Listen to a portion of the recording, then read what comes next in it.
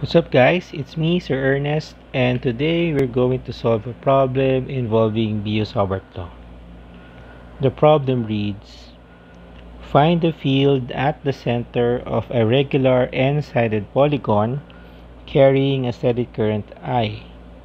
Again, let R be the distance from the center to any side. Okay, now in order to do this, let's say we have a hexagon. So a hexagon has six sides like this. Okay, so these sides correspond one segment. So let's say we choose one segment. Okay, so this line segments is R away from the center.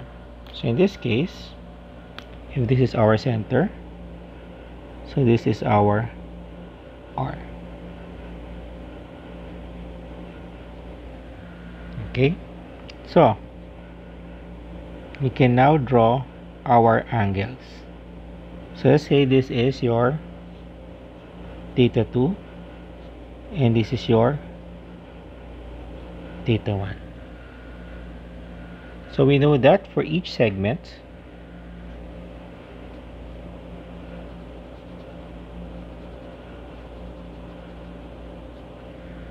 the magnetic field is given by mu naught I over 4 pi r.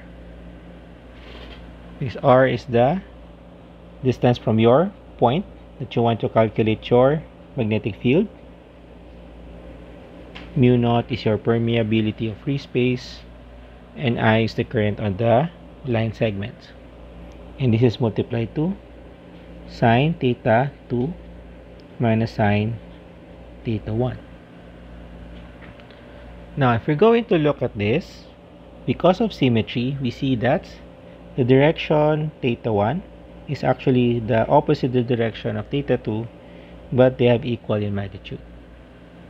And by geometry, each theta is actually equal to pi over n. You can verify it using your geometry where n is your number of sides.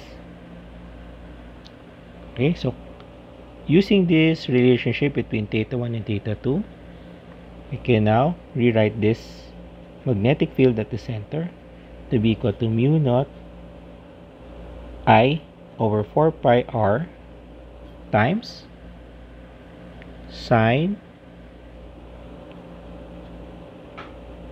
theta 2 plus sine negative theta 1.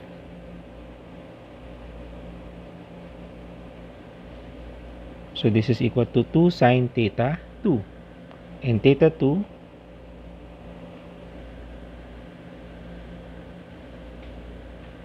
or theta 1 sorry so this should be yeah this is theta 2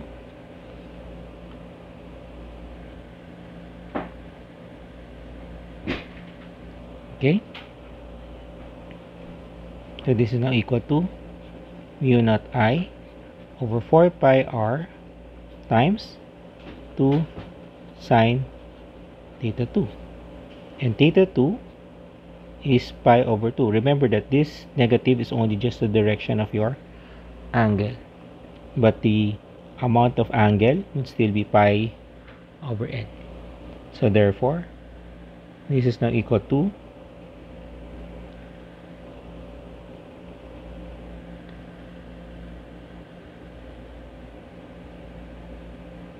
mu naught i over 4 uh, over 2 pi n uh, 2 pi r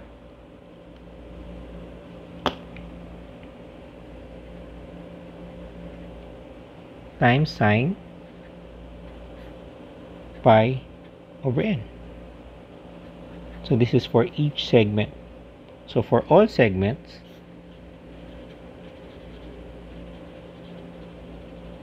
we just multiply it by n. So therefore the answer is n mu naught i over 2 pi r times sine pi over n. So this is now the field at the center of any regular n-sided polygon carrying a steady, uh, steady state current uh, of I and R is the distance of each segment to the center of the site.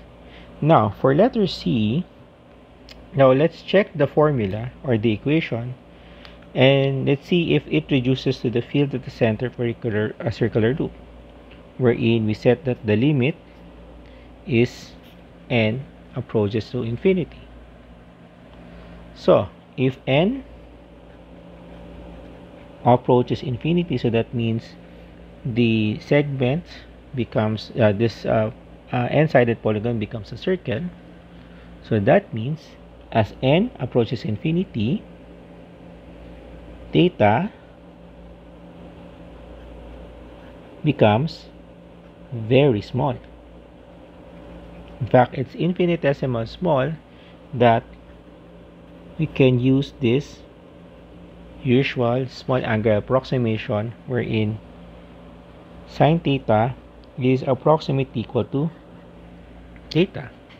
So that means the magnetic field will now be uh, reduced to n mu naught i over 2 pi r times pi over n which is so n cancels with n.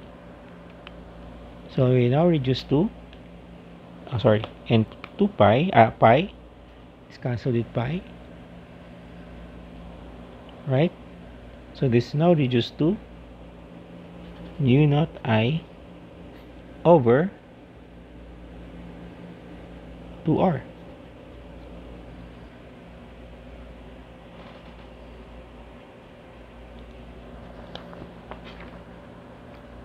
Right?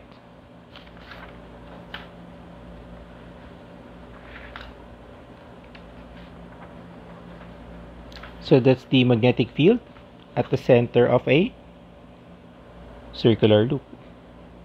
So this verifies this limit. Easy, right? Very easy. So that's all for now. It's your task to answer letter A. And then uh, I'll see you guys in the next video. Thank you for watching. Bye-bye.